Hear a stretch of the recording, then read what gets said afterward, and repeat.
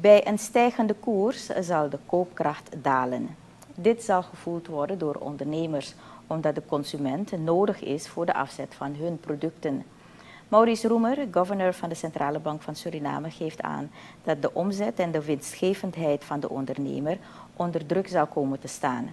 Dit zal tot gevolg hebben dat de crisis in ons land zal verergeren. Laten we met z'n allen hopen dat die spookbeelden uh, niet komen in ons land. Verder, wanneer er sprake zal zijn van heel veel fluctuaties in de koers, oftewel een flinke volatiliteit in de koers, dan zullen ondernemers uiteraard accounting issues hebben. En dat betekent dat ze in hun administratie, hun boekhouding en in de verslaggeving zullen ze uitdagingen hebben. Vooral omdat in Suriname we uh, rapporteren en in de boekhouding nog steeds drie munteenheden hebben. Namelijk rapporteren in de SRD, terwijl de euro en de dollar ook worden gebruikt in de boekhoudingen. Dus dat zal een grote uitdaging worden wanneer er sprake zal zijn van een flinke volatiliteit van de koers. De bedoeling is dat de centrale bank uh, mogelijkerwijs zou kunnen interveneren met valuta wanneer er een, wat wordt genoemd, een, een, een deviatie, een overshoot.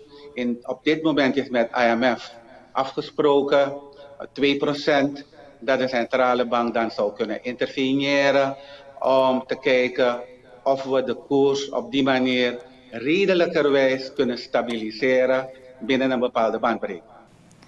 Roemer zegt dat het niet haalbaar is om in deze crisissituatie een vaste wisselkoers te hebben.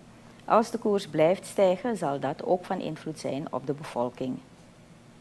Voor de bevolking, wij allemaal, betekent het dat bij een, uh, bij een toename van de koers uiteraard de prijzen gelet op de small economy waarin we zitten en, uh, en vooral import-oriented, dat daarmee de prijzen natuurlijk meteen omhoog gaan en de koopkracht van de consument hierdoor gaat dalen.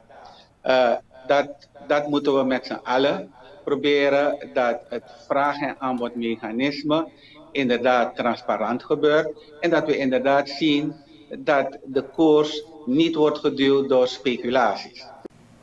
Dat was Maurice Roemer, governor van de Centrale Bank van Suriname. Hij geeft aan dat Suriname op dit moment de middelen niet heeft om een vast koersregime te ondersteunen.